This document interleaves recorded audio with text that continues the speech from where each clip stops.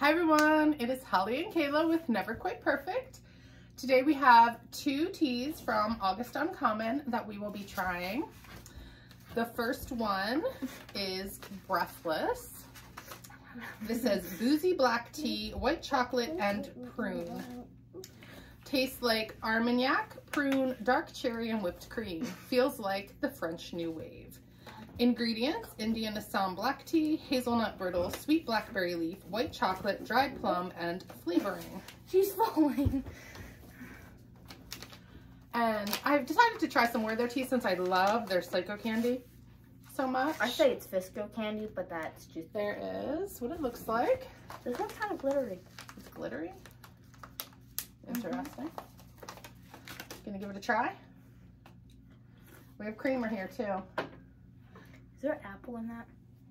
No. Ooh, It's good. Ozzy. this one is good. All right, let's try it with a little bit of creamer. We must be precise to the amount we put in. I try to be, but sometimes Then there's me over here like, oh, that's enough. sometimes we want a little way too much.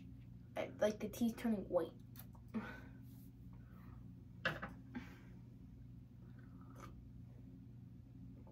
I'm definitely getting the plum. Yes, definitely plum. Prune, plum, whatever. This is actually pretty good. um, my rating, I'm gonna say three and a half. I'm gonna go with that three and a half also. It's pretty good. I don't know that it's good enough to order again. I mean, I like it. There should be enough in here to try ice. We'll try it iced. Okay. Next up is Metropolitan. And Ew, maybe your troll's hairs were in my mouth.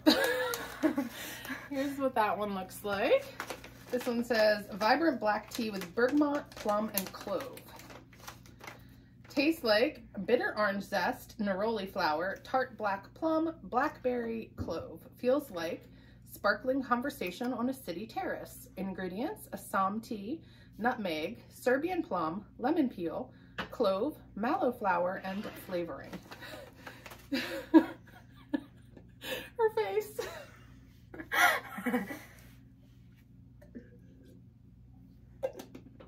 Hmm. If you put creamer in it, I'm not even trying it. I don't like it. I'm giving that a one. I'm definitely getting the plum again. I think the plum is stronger in this one than in that. Well, that one's prune. This one's plum. So slightly different. Nah. Is there a cat in the I think there's a cat back there. Sure you don't want to try it? Yeah, I'm gonna go see if there's a cat. Actually, no, it, that's not. That's just cat. A chattel? Okay, I'm back.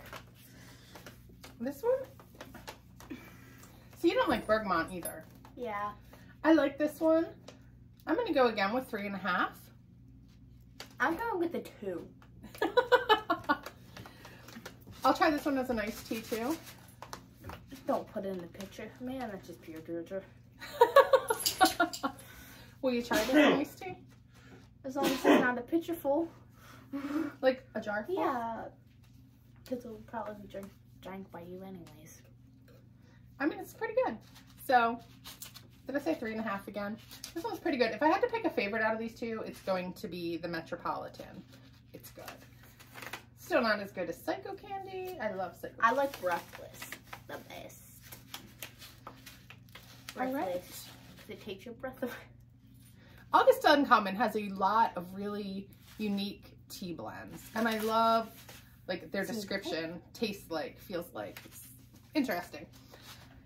So that is it for these two tea reviews. Thank you for watching. Don't forget to like and subscribe. Come back eventually to see when we do these as iced teas I'm only laughing because of the way you said eventually. Eventually, I have so many teas to do as iced tea. I say we should write like, you know, like Christmas list kinda. Instead of a Christmas list, it's tea list and go from top to bottom. So many. Starting with our least favorite, going to our favorites. I think we need to start picking a favorite tea of the month, and then at the end of the year, have our favorite teas of the year. Did that make any sense to anyone? So each month, out of all the teas we review, we pick our favorite. And then at the end of the year, we decide which one is our favorite favorite? Yeah. Oh. Anyway, thanks for watching. And don't forget to like and subscribe, and we will see you later.